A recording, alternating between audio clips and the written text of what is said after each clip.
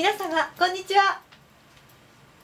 国体の本義を学ぶの時間です。解説してくださるのは小木善光先生です。よろしくお願いいたします、はい、よろしくお願いします。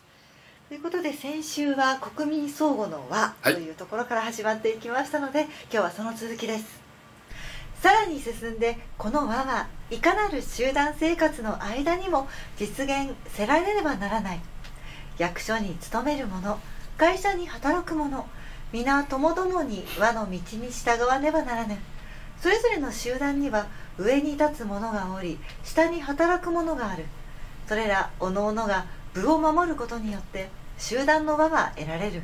部を守ることはそれぞれの有する位置において定まった職分を最も忠実に務めることであってそれによって上は下に助けられ下は上に愛せられまた同業互いに愛はしてそこに美しき輪が現れ創造が行われる。このことはまた共闘においても国家においても同様である。国の輪が実現せられるためには国民おのおのがその部を尽くし部を活用するより他はない。身分の高いもの低いもの富んだもの貧しいものそして長の講師それその他脳高小など相互に自己に執着して対立をこととせず一に和をもって元とすべきである。はいありがとうございます。あのー、いえーと、2つの大きなことが書かれています、えー、1つは和というものの形、えー、そしてもう1つがあの部を守るというこの2点が書かれていると思いますので2つに分けて解説をしていこうと思うんですけどもこの輪はいかなる集団生活の際にも実現されなければならないものなんですよというふうにまずあります。あのー、で、えー、一つの例として会社そしてうと役所といったような、まあ、例が出てるわけなんですけども会社においても上下の関係ありますよね。えー、社長がいて専務がいて常務がいて部長がいて課長がいて係長がいて主任がいて平社員がいる、うん、でそうなってくるとそれって和なの？上下関係じゃないの？支配じゃないの？って思いませんか？はい。ですよね。みんな全員平とかいうわけではないですよね、はい、あの、組織は必ずピラミッド型役所も会社もこういうピラミッドになっているはずなんです、ということは上の方の人たちから見た時に下の方の人たちっていうのは兵隊あるいは奴隷という言い方されるような存在になってしまう可能性ありますよね。そそれの一体どこがどう和なんだって思いません？確かに西洋とかではそうしたピラミッドですごく厳しい上下関係があるのかなと思います,、ね、で下になったらもう奴隷ですよね。あらゆる試験もなくなっちゃいますよね、うん、ににもかかわらず会社でも役所でも和があるんだって言うんです。これなんでかっていうことがことが現代人ほとんど分かんなくなってます。はい。あのピラミッド階層型社会っていうのはこう三角形を作りますよね。これ誰がどう見てもあの上下関係があります。はい。上下これ支配するものと支配されるものの関係になります。確かに上司と部下っていうふうに、はい、上下って書いてありますね。上と下の関係ですね。でところが日本っていう国は球体なんですね。球体。はい。あの三角形。こっちこっち側に1個三角形があります、はい、もう一個別なあの A 社という三角形がある、はい、こっちにライバル会社の B 社 B 社という三角形がある、はい、ピラミッド同士が衝突すると、はい、そこで紛争が起こる。競争が起こる。潰し合いが起こる。まあ、これ、まあ、競争原理ですよね。でこれ違うよねでこのピラミピラミッドを国として考えた場合国というあの王様をトップにして王様を頂点とした三角形があるじゃないですか、はい、で別な国があるじゃないですか。A 国と B 国。この三角形は重なることはないですよね、必ずちょっとでもぶつかったら、はい、そこで衝突が起こって戦争になって、はい、で多くの命が奪われるってことになりますよね、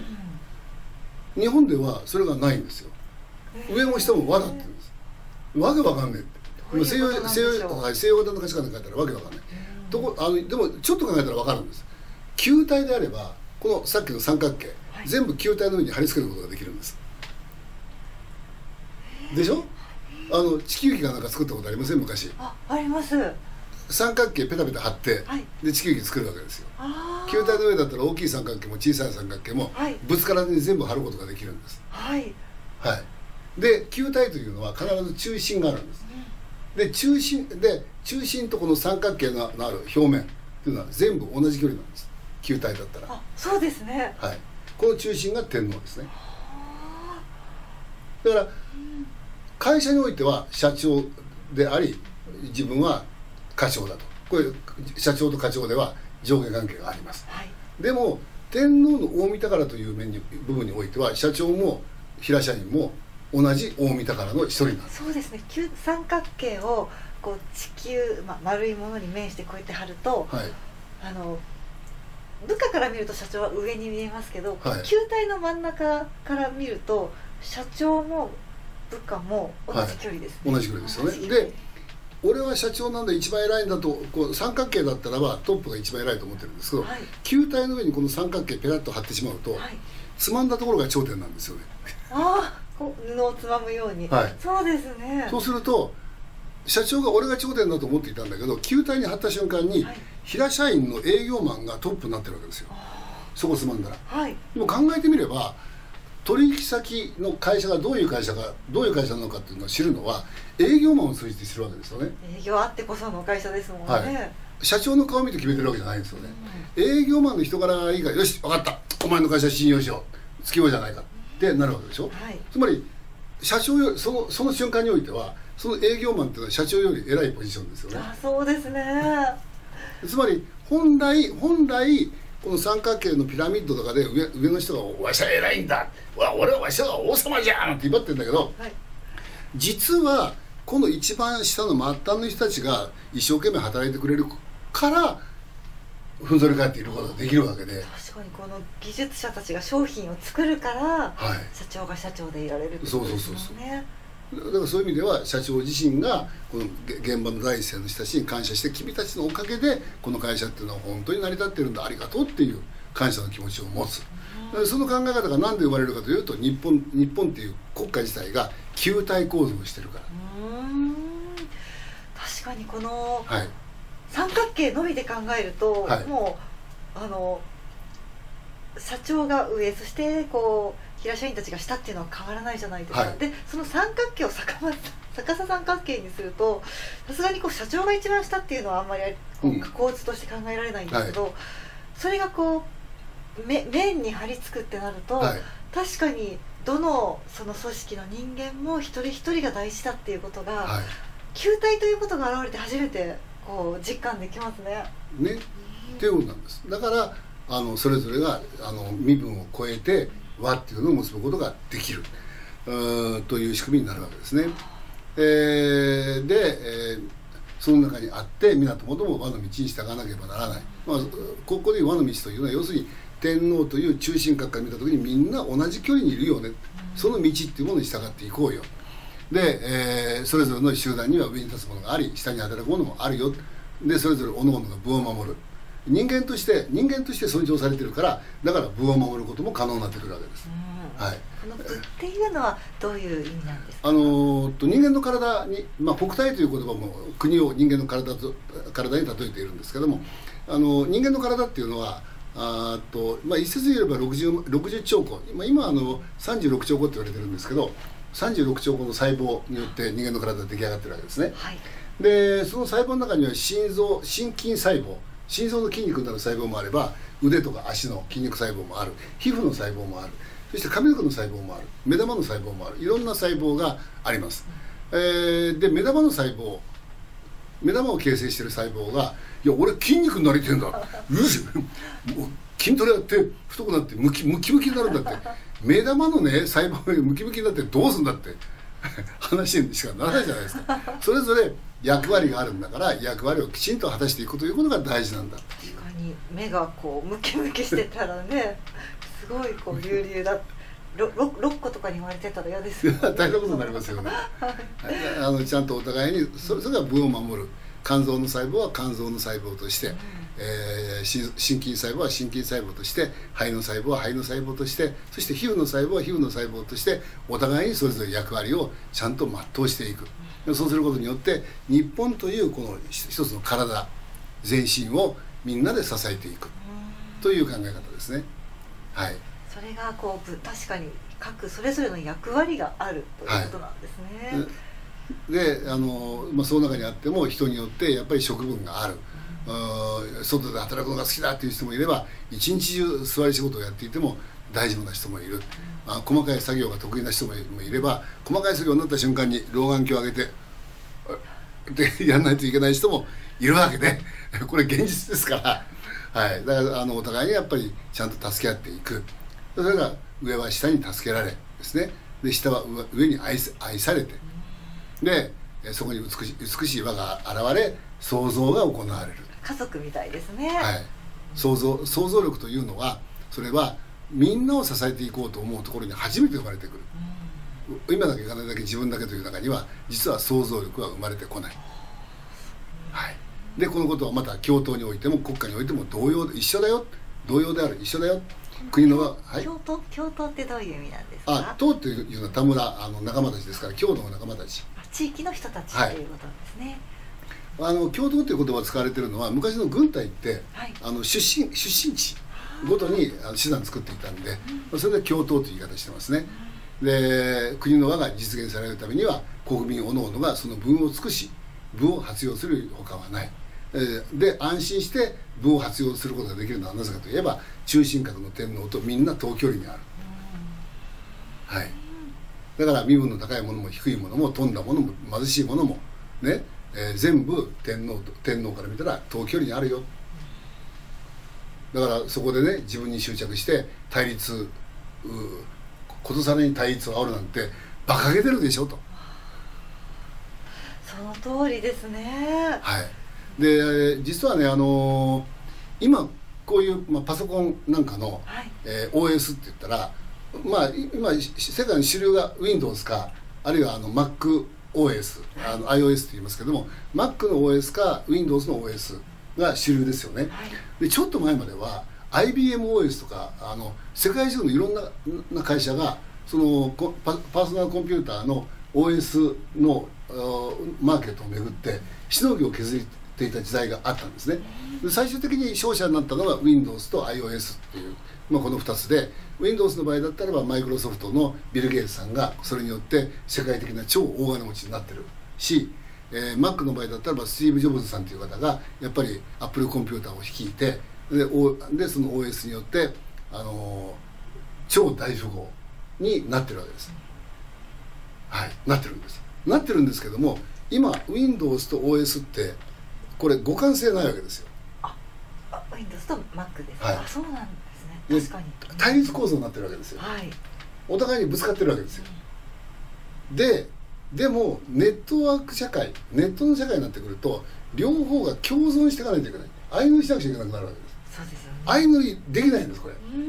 でも、ね、はい、相乗りするための唯一の方法があるんです。たった一つの方法それが日本生まれのトロンっていう OS を使うことなんですね。そうなんですか、はい、実はあの Windows とか iOS よりも先に開発されたのがトロンなんです。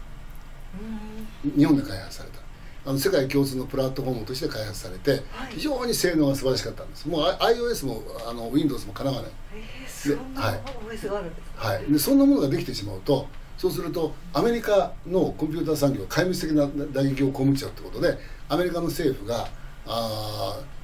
日本のトロン潰せって言って日本に圧力かけてきてで日本ではトロンが完全にこう潰れるような状態まで追い詰められていくんです。今は使使われてないですってみんな思ってたんですけど、はい、そうじゃないんです。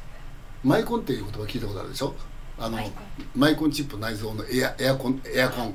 掃除機。はい、はい、大体家電製品ってみんなマイマイコンが入ってますよね。あのマイコンのシステムって6割がトロンで動いてるんです。そうなんですか。じゃあ頑張ってるんですね、はい、どんな家電製品であっても全部同じプラットフォームでちゃんと動くちゃんと動く。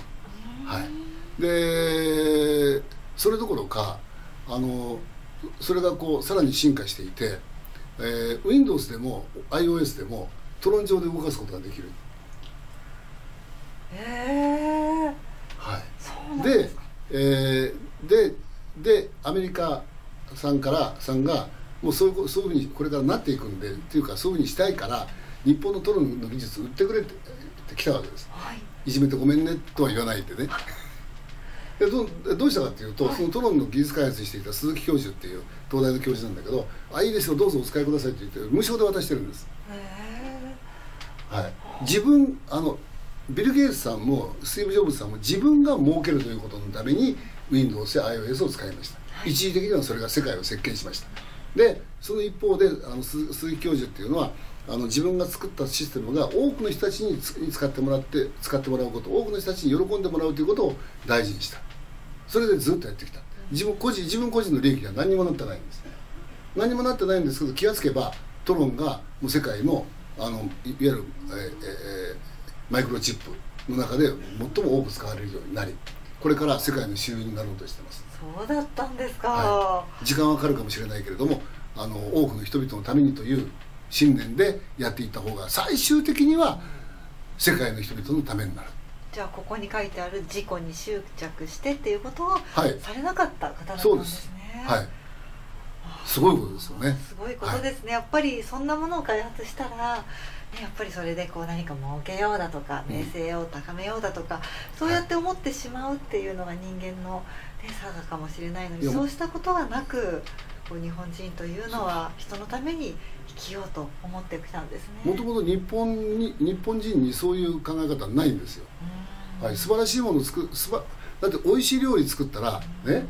あのめっちゃいい材料買ってきてめっちゃ美味しい料理作ったら旦那にも旦那にも食べさせないで私一人で食べるする？しないですよね。こんなに美味しいもんできちゃってねで食べて食べてってやっちゃいません、うん、でせっかくできたからもう友達のとこに電話でしちゃって「ねえねえ来ない?」って。お裾分けとかしてくれます、ね、はい。みんなで楽しむ。その方が喜びが何倍にもなるっていう。のをこれをこれをこのことを日本人はすごく大事にしてきたんです。で世界の外世界中の人たちが日本に旅行に来てびっくりするのがそこなんですよね、なんとこの人たちお人よしなんだって思うんだけどなんと幸せなんだって二度びっくりするそうです欧米とは全然そこが違うとこですよ、はい。国体の本気素晴らしいでしょ、ね、こういうことをしっかり教えてくれてる。そういう日本に暮らせてるっていうことは改めてありがたいな感謝ですよね。思いました、はい、はい、それでは先生今週も解説いただきありがとうございました。また来週もよろしくお願いします、はい、よろしくお願いします。どうもありがとうございました